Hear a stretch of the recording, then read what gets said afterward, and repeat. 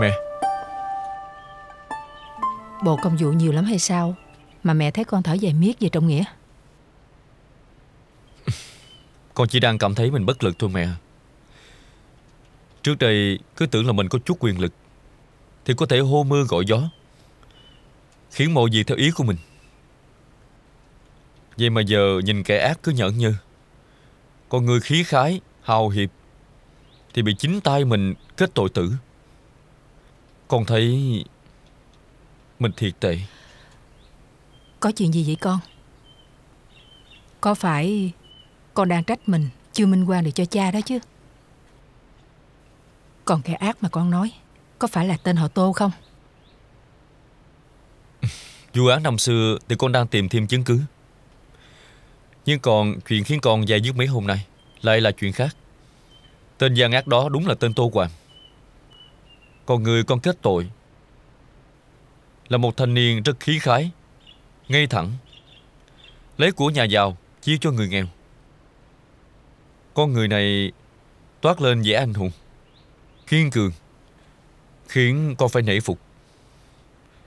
Tuy nhiên, Chính anh ta đã thừa nhận Muốn lấy mạng của tên Tô Hoàng. Thêm nhiều nhân chứng, vật chứng khác nữa. Cho nên con không thể nào cứu anh ta thoát khỏi tội chết. Tên họ Tô đó là một tên đại gian manh. Giết người không gớm tay. Mà người này muốn lấy mạng của hắn. Chắc không phải là người xấu. Cậu ta lại lấy tiền bạc cướp được. Chia cho người nghèo, Thì quả là người hào hiệp.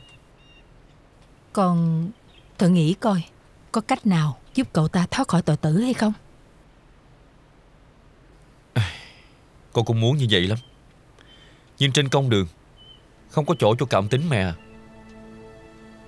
Tất cả Đều phải xử theo hình luật của triều đình. Phải chi quan huyện nào cũng nghĩ được như con thì tốt quá. Ngày xưa cha con cũng vì giàu lòng trắc ẩn. Thương mấy anh em tá điền, Nên mới bị tên súc sinh kia Sanh lòng thù hận. Càng nhớ lại cái chuyện này Mẹ lại càng thù tên Tô Hoàng đến thấu xương. Hắn còn sống ngày nào? Thì nỗi quan của cha con càng đeo đẳng. Và những người tốt như chàng thanh niên kia Thì càng lâm vào chuyện ngục tù. Con phải nhanh nhanh đưa được tên khốn đó ra trước công đường. Có như vậy, Mẹ có nhắm mắt cũng cam lòng.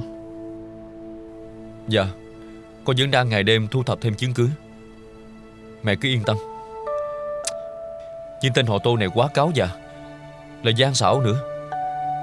Nên mình phải chuẩn bị mọi thứ Thật đầy đủ Thì mới mong quật lại được hắn. Con không muốn phải thất bại như lần trước đâu.